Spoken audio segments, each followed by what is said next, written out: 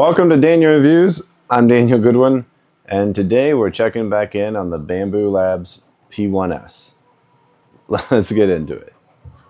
I gotta tell you, I love this printer. It has been absolutely fantastic. I'm continuously amazed or impressed by its reliability, its quality, its speed. Um, just it's all the things that I dreamed and hoped that I would have in a 3D printer back couple years ago or three years ago when I was getting into it. it at least the printers I went in with at that time, this weren't weren't ready, weren't at that level. It has the Bambu Labs P1S has been all of that for me. So that's the first thing I gotta say is it's great if you're thinking about buying one, buy it. I don't think you'll regret it. I will say it hasn't been without some complexities and things that I didn't anticipate, but for the most part, I've just been super pleased with the printer. I am dreading uh, when something breaks on it because I know that's going to be a painful repair process. And I think there's documentation out there and support, and, and I'm fairly handy, so I'll probably figure it out, but not looking forward to that.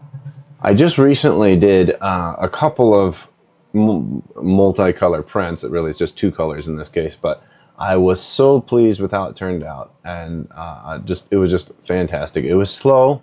I'll admit it was slow. It wasn't uh, blazing fast in that sense because it had to do so many filament changes, but the resulting quality was great. And I want to kind of talk through what this printer is doing that a lot of the other printers on the market aren't doing. I, printed both of these on the P1S. They are not exactly the same model, but they're very similar. I, I kind of messed up on the magazine, but certainly the, the Jolly Rogers on them is the same. And um, this one I printed with a prime tower. This one I printed without a prime tower. Uh, from a sharpness, quality, everything, they look identical to me. Um, so I, I don't know um, that the prime tower is absolutely necessary. I've tried to do some research on whether the prime tower, what it gets for you and I've gotten conflicting opinions. Some say that it just helps ensure that there's less risk of a situation where the filament doesn't extrude on your model um, due to a lack of pressure. Uh, that's one theory. Um, so that it's very possible that's the case. In this particular print, didn't seem to make any difference. It does make a little bit of difference in time sometimes on how long to print, as well as how much filament is used. One thing I want to show here, um, hopefully, uh, uh, just calculating this now, is I'm slicing this in Bambu Labs to you know kind of prepare it for printing. And as I've got it set up right now, I've got the Prime Tower enabled, and I've got my overall project time of 23 hours and 31 minutes. Um, so this is a pretty big project for for what this is, uh, four magazines you can see here the prime tower doesn't go up beyond the top of the skull because once you get above that, everything is black, so there's no need for the prime tower. The prime tower, like I said, is enabled by default. However, you can disable it.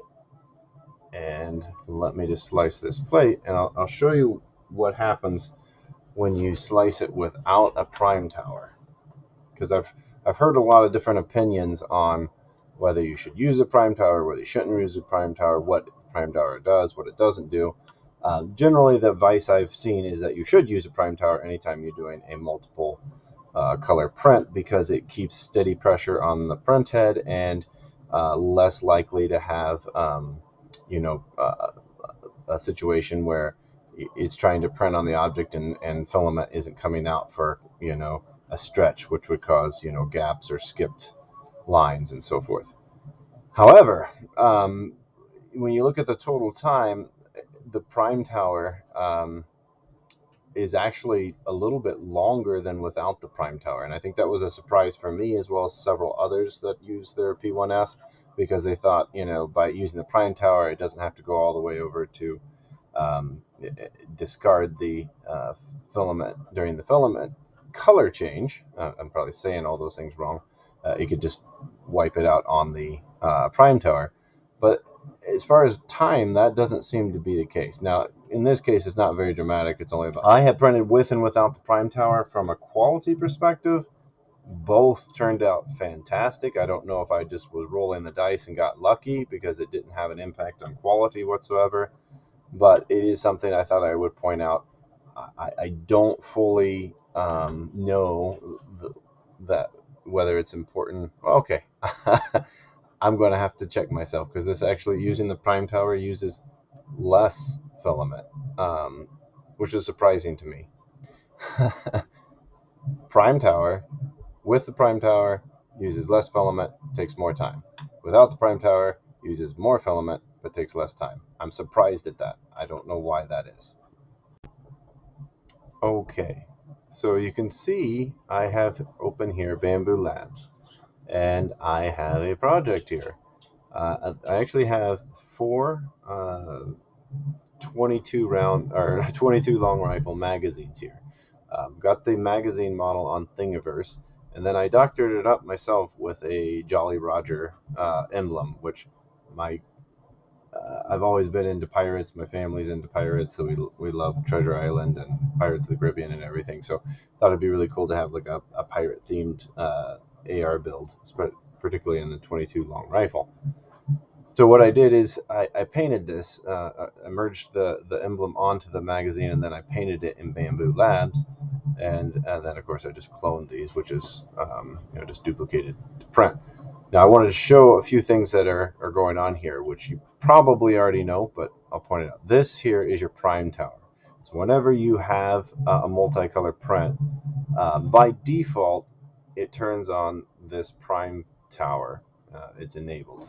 And basically what it does is it prints a layer and then it goes over here and purges filament and kind of uh, you know builds up the tower as of course you are, are building up the uh, the 3D object and printing it.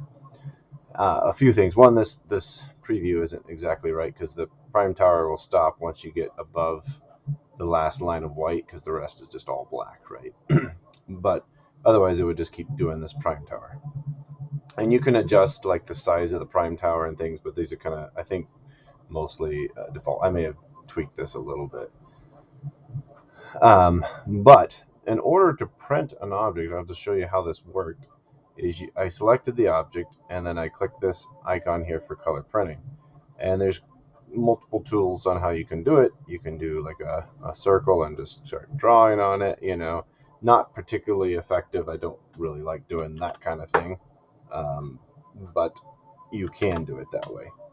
The other thing is you can do a sphere, um, which is literally what it sounds like. There's a few limited cases where that's helpful and the same with a triangle. But I'll tell you where you really uh, are going to spend most of your time is going to be on the fill and this height range. So fill is, if you've ever used paint, you know what I'm talking about. You come in here and you can select a surface, right? So I could actually select this and paint that. Now my waffle pattern is all white as well, which is kind of, you know, kind of fun. I could have do, could have done something like that. Um, the other thing you and you got your colors here so the other thing I could do is I could actually paint the uh, with this filament color. And you know so it can get a little tedious when you got something with a lot of edges and it depends on how you want it to be if you want it all to be um, just on the outside or whether you want it to be you know in here. You know you can get pretty you know pretty granular with this and then if some reason your edge detection isn't working, obviously you can go over and use that, that circle. You can make the size a little bit smaller, you know, so that you can you can cover exactly what you want, you know, instead of something else. So that's how that it works. Uh, it works really well. Um, it greatly increases your print times. Um, so something like this, uh, um, even with before all my changes, it was still going to be something like 23 hours to print four, um, four of these.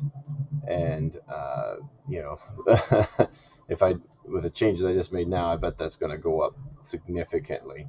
Uh, and now since I got multiple colors, I've got more in my prime tower as well. So you do want to be very smart and careful with how you use your colors, but it turned out amazing. And um, I'll, I'll show you some examples of that. But all in all, super impressed with the multicolor prints on the, uh, the P1S. Now I am a little choosy on when I use it because obviously it just takes so long. Um, on a long print, there's more chance that something could fail, which is never fun. You, you go off and start a 23 hour print and something fails. That's not great.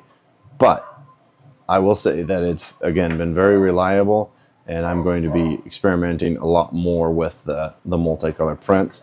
Probably even get into maybe like a, again, the less filament changes you have, the faster that printing is going to be. But you can go up to four, four colors. So uh, with the AMS, and that's that's kind of one of the biggest, as I see it, advantages it has over almost all the other printers on the market right now. All right, that's going to do it for this video. Just a light covering of the multicolor print on the P1S. Uh, there's a lot more to be tapped there. There's a lot you can do with it.